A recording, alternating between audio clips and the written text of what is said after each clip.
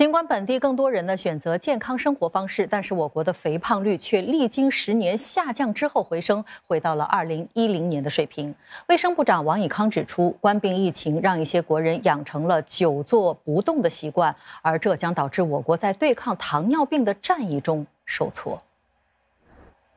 每天注射胰岛素，彻底改变生活习惯，甚至一度昏迷十天，这些都是六十八岁的二型糖尿病患者麦哈迈德四十年来的亲身经历。For training, uh, you have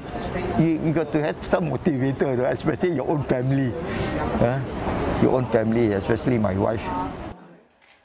麦哈迈德是本地四十万名糖尿病患者当中的其中一人，但是如果不加以预防，到了二零五零年，本地患上这个慢性病的人数预计将增加到一百万人。卫生部长王以康在糖尿病协会配合世界糖尿病日举办的活动透露，官方数据显示，跟二零一七年相比，去年有更多的国人利用休闲时间经常运动。每人平均购买贴有较健康选择标签的食品也有所增加。不过呢，我国的肥胖问题却变得更加严重，从二零一七年的百分之八点六上升到了去年的百分之十点五。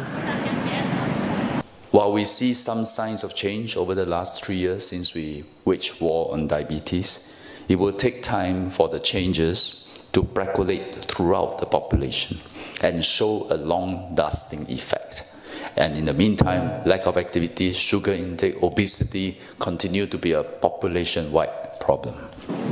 当局将在年底推出新的推广活动，鼓励糖尿病患者定期进行身体检查，并提高他们对并发症的意识。